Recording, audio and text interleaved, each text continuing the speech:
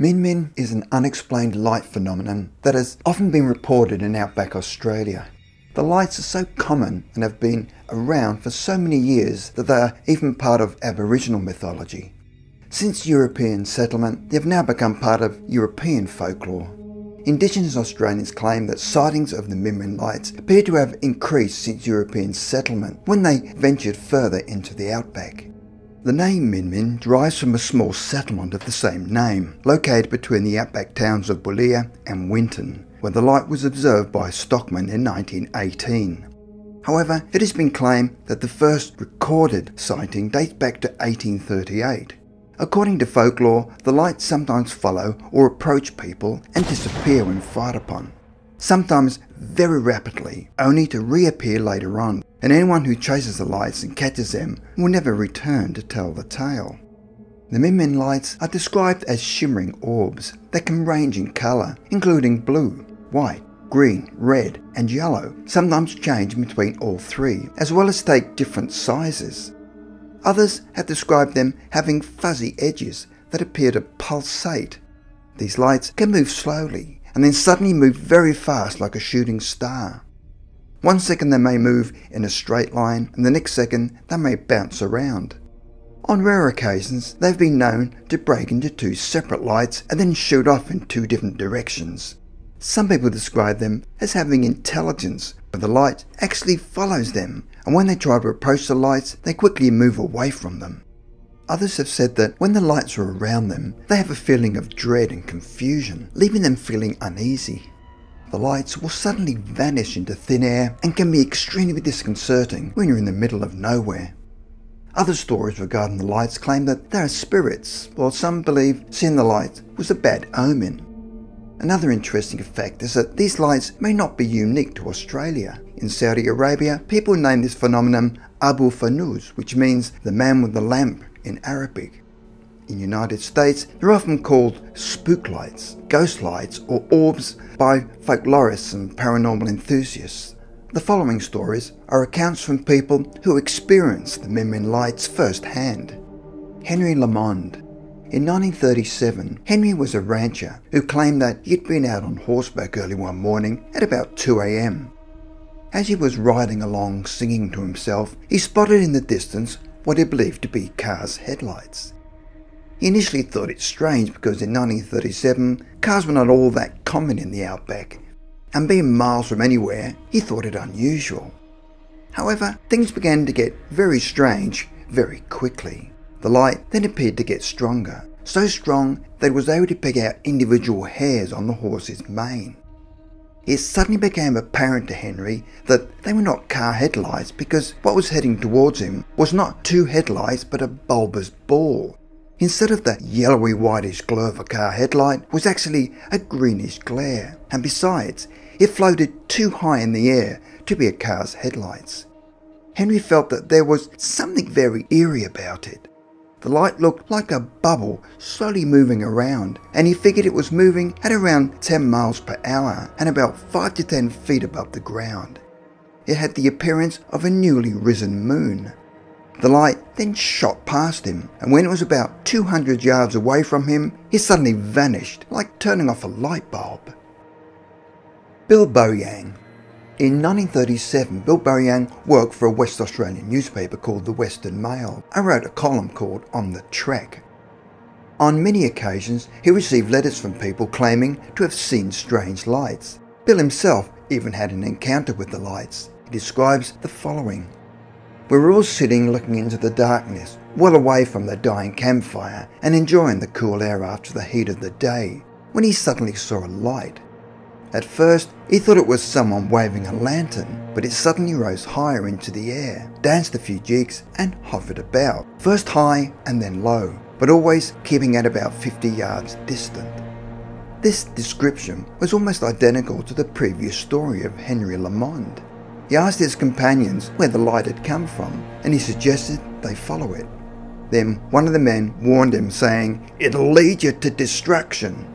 Where that light is, it leads right into a chasm with a drop of three or four hundred feet. And as soon as you gets close to the light, out it'll go over the abyss. But Boyan was more curious than superstitious and decided to ignore the warning. He then set off after the light and then strode on into the darkness.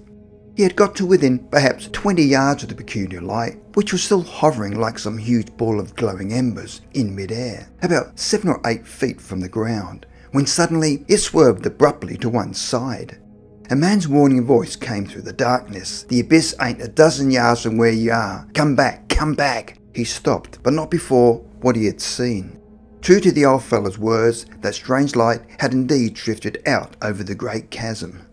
As he watched, the light hesitated, floated back a little towards him, then as though tempting him to follow, but at the same time annoyed at the possibility of losing a victim, it glided back again over the chasm, where, with a few final erratic movements, it dropped from sight. Had Bill Boyan just seen a strange ball of energy, or an intelligent thinking orb? Either way, it did not appear to have his best intentions at heart. Kyle. Kyle had the following experience with strange lights whilst driving in the outback. He had a long drive from Innamincka in north-east South Australia to Boulia in central West Queensland, a drive that would take him about 10 hours and 30 minutes. From Boulia, he then headed north to the mining town of Mount Isa. That was a further three and a half hours. This is where his unusual event started to happen. After leaving Boulia, he was a few miles out of town when he noticed what he believed to be a pair of headlights tailgating him. After a short while, the glaring lights started to get really annoying, so he then beckoned whoever was behind him to overtake, but they just stayed behind him. Carl then tried another tactic by just slowing down, hoping to annoy them so they'd eventually pass. It was at this stage that he suddenly realised that they were not car headlights. He then stopped the car, where the strange lights then flew around his car. He had heard of the local legend and figured they were Min Min lights. He quickly grabbed for his camera to take a photo when one of the lights got close to his car. It then began to hover closer and closer and started to blind him. Then all of a sudden, it dissolved into nothing and seemed to disappear just as the sun came up. The whole ordeal with the Min Min lights frightened him so much that in the future he always avoided that route. Dan. Dan's first experience with the Min Min lights was in 2003-2004 when he was living in the north coast of New South Wales. A friend of Dan's was telling him that he kept seeing what he believed to be people constantly walking around with lights. Dan said there couldn't possibly be people walking around because he lives in the middle of nowhere. Who could possibly be walking around with lights? One night, they both went out to see if they could observe what his friend was talking about, and on that particular evening found nothing out of the ordinary.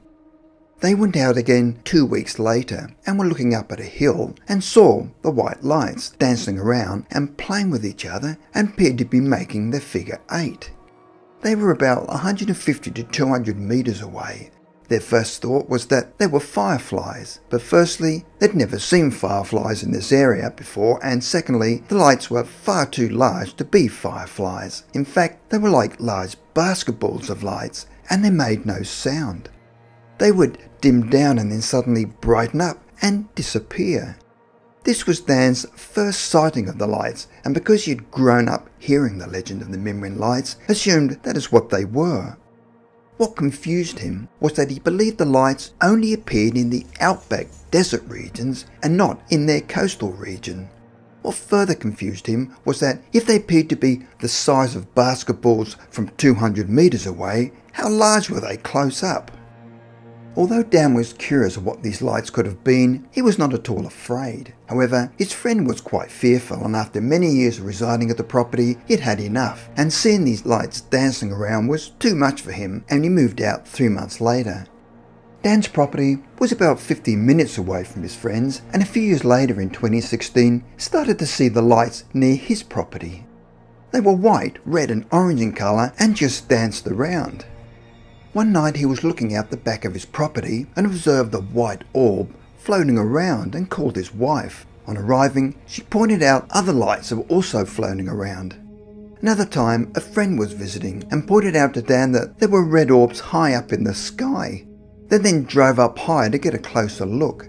The previous lights were always close to the ground, while these were three red orbs high up in the sky. On another occasion, he had some overseas guests visiting at his property, and when Dan was in the backyard, a huge white light appeared about a hundred metres in the sky, and he called out his guests, who all observed the light show and clapped and cheered at what they were seeing. To try and get some sort of explanation for what he was experiencing, Dan visited an Aboriginal elder who told him that his property was surrounded by Aboriginal sacred lands and that the lights were the spirits of the Aboriginals protecting the land.